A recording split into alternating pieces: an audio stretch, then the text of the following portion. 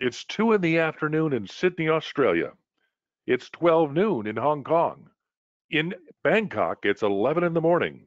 And in New Delhi, India, it's 9:30 in the morning, and that means it's time for the Asia Broadcast Technical Webinar. Hi, I'm your host Chuck Kelly, and I'm delighted to be with you today. Although I must confess, it's a little bit of a sad occasion. I mean, today's the day we all would have started Broadcast Asia in Singapore, and I'm going to miss the chili crab and all my friends. And uh, uh, it's just not the same as it is uh, any other time. But we're going to try to make one thing the same, and that is the great technical seminars they typically have at Broadcast Asia. We've got a list of, of excellent presentations and incredible speakers that I, I, think you're all going to enjoy. First, we're going to talk about some developments in state-of-the-art FM transmission from our friends at Elenos. Mr. Wayne Pecena, the president of the Society of Broadcast Engineers, is here to join us and help us get to know the Society of Broadcast Engineers. Phil Owens, sales engineer Wheatstone, is going to talk to us about IP audio trends for television and walk us around his, his home studio. Um, the DRM Consortium is here—the three folks from Germany and England to talk to us about uh, the Digital Radio Mondiale and then Robert Ferguson is going to share a presentation on social distancing your studio from Wheatstone. And finally, I'll bring up the rear with a, another presentation about television tra transmission technology in a changing world.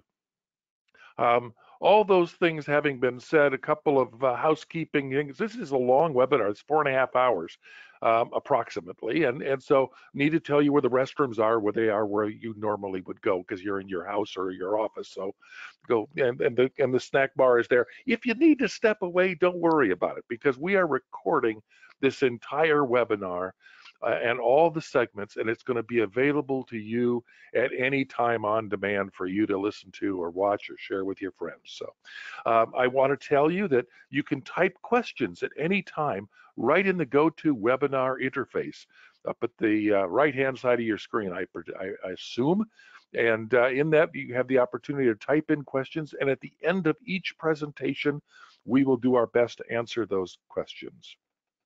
I also need to let you know that this watching this webinar qualifies for half a credit towards SBE recertification under category one. So thanks to the Society of Broadcast Engineers for allowing us to pass that on to you. So with no further ado, I am going to try to get to my other presentation and uh, change what I'm seeing here and very quickly switch to this and allow you to see this presentation.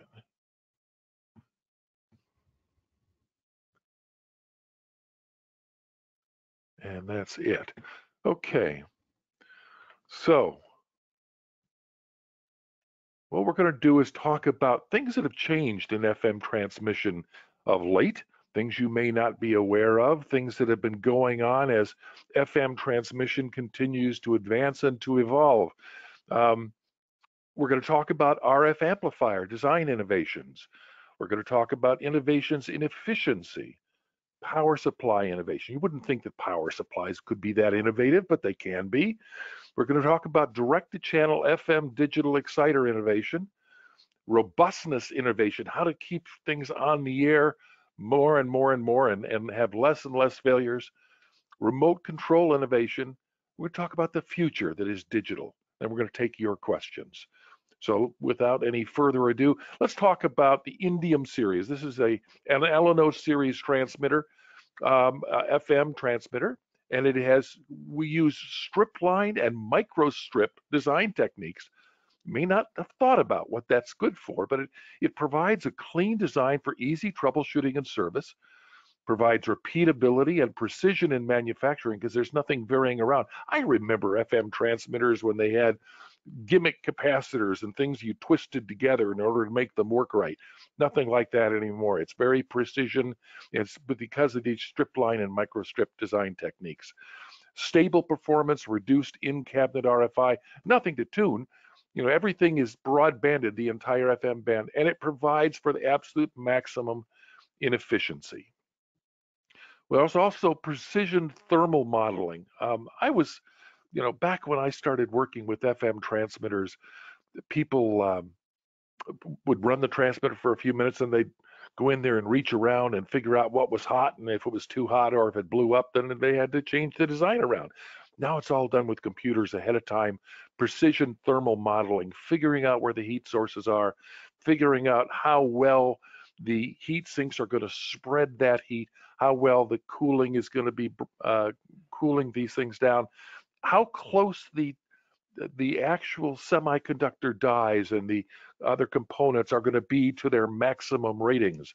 And so if we can keep those cooler, I don't know if you're aware, but there is something called metal migration in solid state devices that each 10 degrees Celsius you keep the solid state device on the semiconductor die, approximately to double the life of that solid state device. So cooling is a very, very important feature in a transmitter and the ideal component cooling with a minimum heat sink size and weight, optimizing fan speeds under all conditions for queen, uh, quiet, clean operation, provides the ability to stay on the air under real world conditions. We've all seen products that have been designed in a laboratory in a clean room, apparently. And, and, and when you get them out into a real transmitter site with the dirt, and the dust, and the bugs, and the rats, and rodents, and everything else, it, they have problems. And, and uh, these transmitters are designed to work under real world conditions. Longer PA device life due to reduced metal migration, as I mentioned. Class F PA design improves the efficiency and reliability. We're going to talk about Class F a little bit more in a future slide. We use the latest LDMOS devices for maximum efficiency. We reduce the footprint of the amplifier, making it smaller, and it reduces the heat to be dissipated, which keeps the devices cool, resulting in long life. Precision design and carefully milled combiners. Again, the, the emphasis on precision. It provides repeatable performance, protection against physical or electronic shocks, reduced losses for improved efficiency, reductions of energy costs. So efficiency is so much of an important thing these days. The Indium family includes a unique power level scheduler, which allows the automatic reduction of power at specific hours and days. So it makes logical sense that it, in some times of the day, you may not want to be operating at full power to save electrical running costs. So the Indium has a grid built in where you can say, okay, Monday, Tuesday, Wednesday, Thursday, Friday, Saturday, each of the hours of the day on the other on the other axis here, and then you can say what power level do you want to be at each of these times of the day. And by doing that, it will calculate out how much money you're saving with these decisions. They're again, they're your decisions. Uh, you, and, and, it allows intelligent business decisions to be made. The amount of power reduction may be limited by government regulations, so you'll want to double check that first make sure that that's completely legitimate in your city, eh, your country of license. Power supply design. Now, power supplies seem to be the, the simplest thing on the face of the earth. They take AC in, they turn it into DC outputs, you want to have some level of regulation and reducing of hum and, and all those kind of things. But what's interesting is many manufacturers use an off-the-shelf power supply, which are designed for computer clean room environments. I mean, these 48 volt power supplies that we have were designed for big servers. They run on 48 volts and they're sealed and not user repairable. The schematic diagrams are not typically available. So the replacement of an inexpensive component often requires the replacement of an entire unit, which may not be that bad if it's not too terribly expensive. You know, slide one out, slide the other one in. But what if you're in a country that it takes a long time for the new part to get there, the new power supply, the whole power supply to get to you? And what if you would have had the component on the shelf that it would have been taken to fix it? Uh, that can be very frustrating. So in the Indium series, the Elenos engineers have designed our own power supply specifically for real world transmitter room environments like less than perfect AC and harsh physical conditions. It's optimized for the specific physical design of the transmitter and allows the dynamic voltage control by the transmitter. So it can change the PA voltage and it's user serviceable and the and the schematics are available. So this is a, a big advantage. It may very well be that you can change a five cent fuse and get your transmitter right back on the air again without waiting for a week or two for a whole new power supply to come. So the Indium remote control um, can monitor output current, output voltage, mains voltage, input over voltage, temperatures, data communications errors, and internal failures, and each supply is addressable. I may have confused you here. This is the remote control of just the power supply. The power supply is communicating everything that's going on, which allows you to troubleshoot it remotely.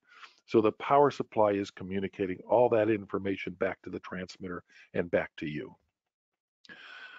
In the Indium series, we have a fully digital exciter that offers truly transparent industry-leading audio performance, a wide variety of auto switching inputs, balanced analog L plus R, AES EBU, analog MPX, and MPX over AES. Now, if you haven't used MPX over AES, this is something I would really recommend. It's not just Elenos that has this technology many other FM transmitter manufacturers these days uh, have have used MPX over AES.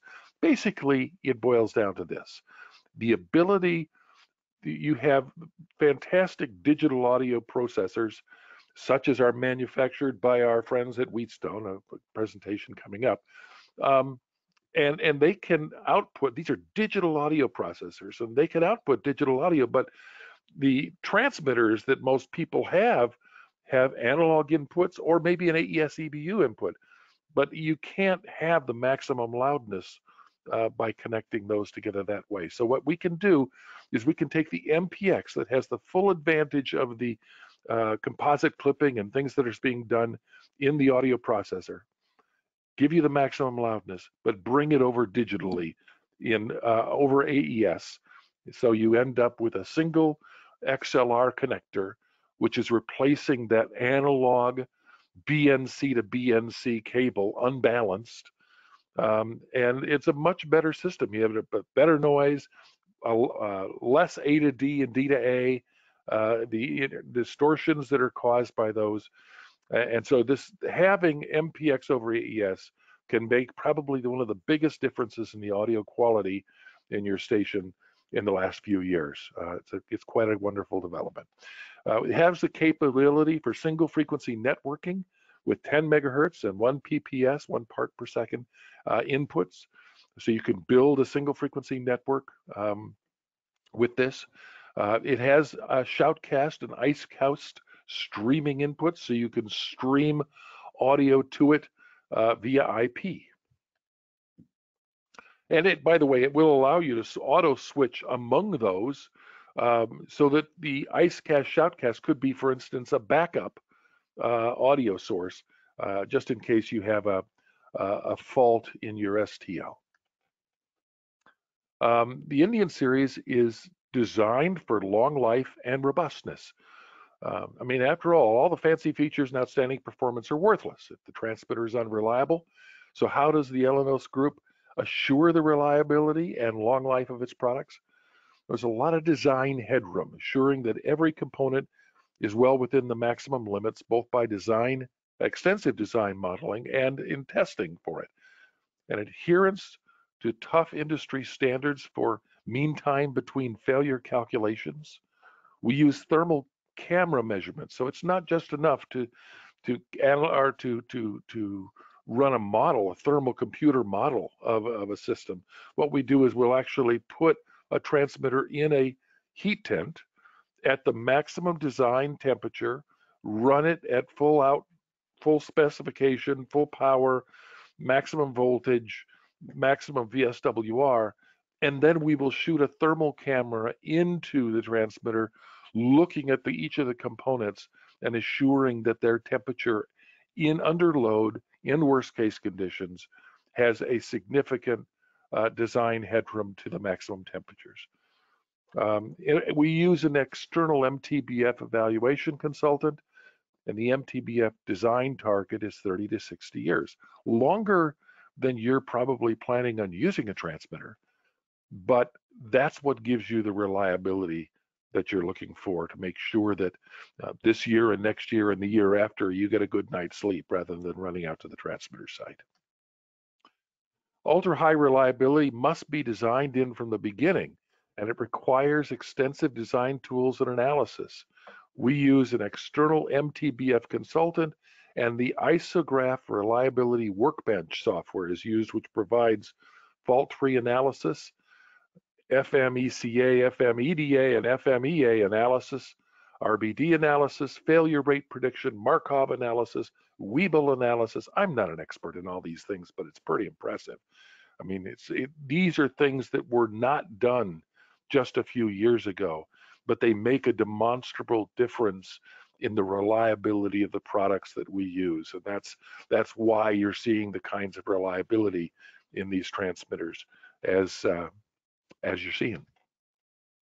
Um, we look at the careful evaluation of thermal cycling stress, which has been known to to be responsible for many short-term and long-term failures. As I mentioned, we use thermal imaging cameras to isolate and correct hotspots before the first units are sold. That's the cop, that's a picture on the right-hand side of a FLIR, a forward-looking infrared camera that allows you to see the various temperatures up to uh, the, the, bright yellow is at 45.9 degrees Celsius. Then we have something called the Elenos Life Extender. Think of it as a safety net. Um, the world is a harsh place, particularly transmitter sites. Um, have, we have extreme AC voltage fluctuations and surges.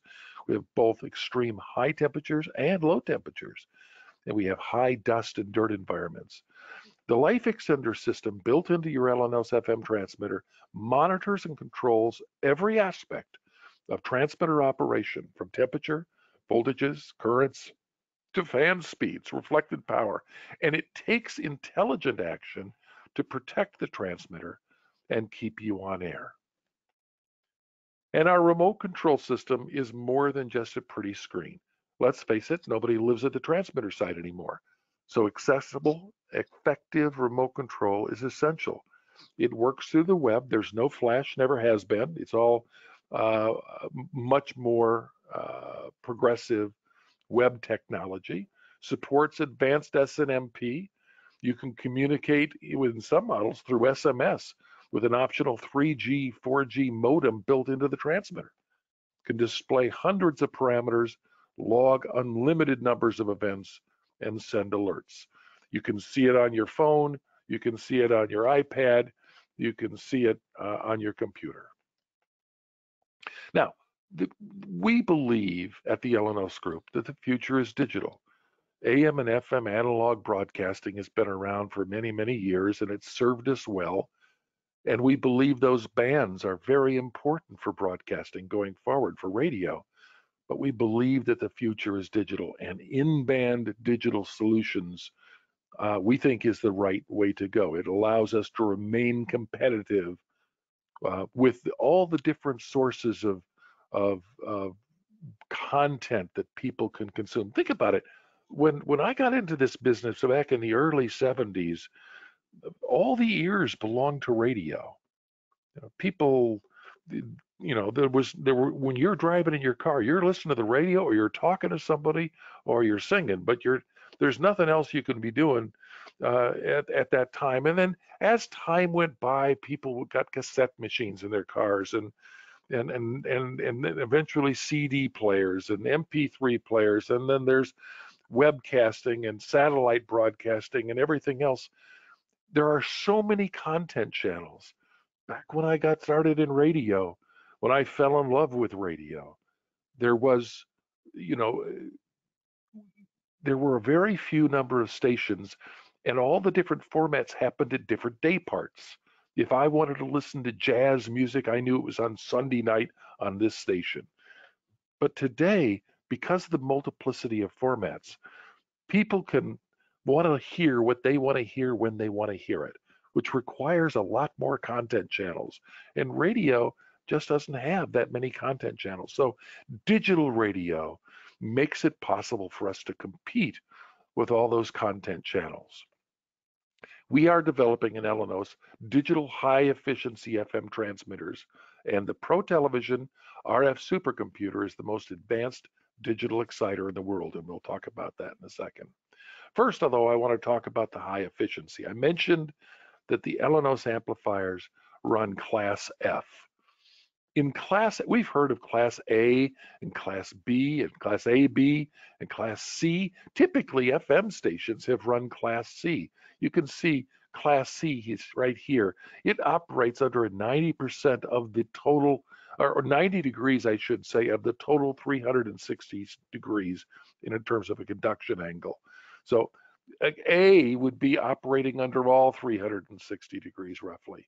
Uh, but now when we get to class E, that's over here somewhere, and or I'm sorry, class F, and that has an even more reduced conduction angle, but it provides for an efficiency of somewhere in the neighborhood of 80 to 90 percent at the solid state device, um, which is better than Class C, which may be in the neighborhood of 75 percent. So you can see uh, how Class F amplifiers will boost both the efficiency and the output by using harmonic resonators in the output network to help shape the output waveform into a square wave. You know, it has integrated uh, ESD or, or high voltage uh, pulse protection, excellent ruggedness. This is the Ampleon device you can see on the left, the BLF 188XR. High efficiency, excellent thermal stability, and it's designed for broadband operation from HF to 600 megahertz. So that's class F operation. One of the things that makes our solution yeah, um, very unique is that the Elenos amplifier, the Elenos transmitters, based on the the new uh, uh, Pro Television RF supercomputer, had advanced adaptive pre-correction. And adaptive pre-correction is very important when we're running digital operation. What we do is we bring back, as you can see here, samples. These are the, the P, this is the PA here. This is the modulator over here. We bring back samples, both of the nonlinear and the linear samples. Nonlinear is looking for basically distortion, nonlinear distortion caused by the PA not operating in its completely linear uh, area of operation and it then pre-corrects for that in the exciter and it allows us to run that amplifier more efficiently by reducing the amount of nonlinearities or distortions. In addition, there are nonlinearities that occur in the phase and amplitude domain uh, that are caused by bandpass filters near the output of the transmitter or perhaps in your combiner. And this linear uh, adaptive pre-correction comes back and corrects for those as well. So you could get better performance, interestingly, both in terms of digital broadcasting, where you're looking basically at an MER, but also in terms of analog broadcasting. Analog FM can improve your audio performance in analog FM.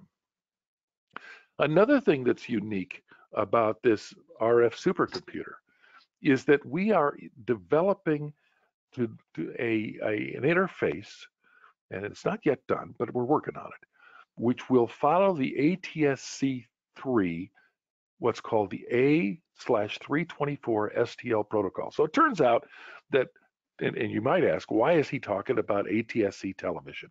or ATSC3 television. It's because the guys at the Advanced Television System Committee, folks there, developed an interface, a protocol for the studio to transmitter link, which is a digital protocol, and they developed it for ATSC. It's very configurable, so you can add in as many audio or video streams or telemetry uh, data streams that go back and forth between the studio and the transmitter.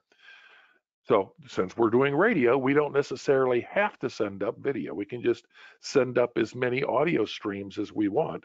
If we have multiple audio streams for our digital broadcasts, we can send multiple audio streams. So it includes provisions for precise timing, which makes possible SFN applications for um, single frequency networks and to minimize the dynamic changes in the analog and digital timing.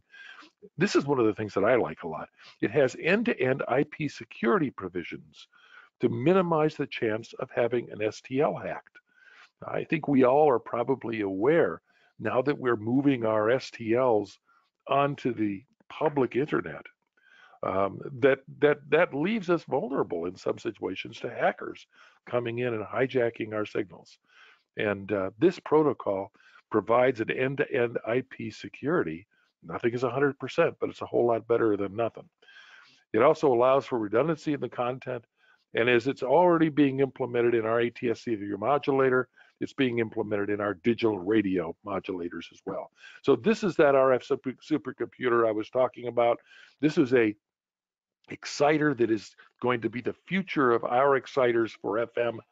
Um, it is a basically an RF supercomputer. It's a very, very powerful processor uh, with programmable DSP, a large programmable FPGA. Uh, it, it, has a couple of Linux processors in there. The coolest thing about it is that it's completely configurable to be what you want it to be. It's developed as a digital television exciter. So it supports, depending on the program that you run on it, in other words, the the programming that you give it, telling it what it's supposed to do, it supports DVB-T, DVB-TH, T2, ATSC legacy, ATSC3, ISDBT or TBB, the Brazilian alternative, analog PAL TV, NTSC, DAB, TDMB, DAB plus HD radio, and DRM. So it, basically, it operates from 30 megahertz to 760 megahertz in one hertz steps. It has built-in GPS, GLONASS, Galileo, and Beidou, um, so it can keep itself synchronized. Everything works to that synchronized clock. It it has it consists of and this uh, blows my mind. It consists of a, a 16 layer printed circuit board with over 2,200 parts. And all you got to do to change it from being a television modulator to being a DRM modulator is flip a switch change, upload the program into it, tell it what to be, and that's what it's going to be. So these are, this is the basis of our trans RF trans or FM transmitters going forward. Um, let me see if there's any questions. I don't believe so um, on my part, but if you do have them, just type them in later and I will get to them via IP. I want to thank you for your time on this presentation. We know how valuable your time is and we're honored you chose to spend some time with us. Check out, check out our upcoming webinar schedule at www.elenosgroup.com forward slash webinar. And for further information, please contact my good friend, Mr. Frank Massa, Asia Pacific Group Sales Manager located in Bangkok, Thailand. And his email address is f.massa at elenos.com.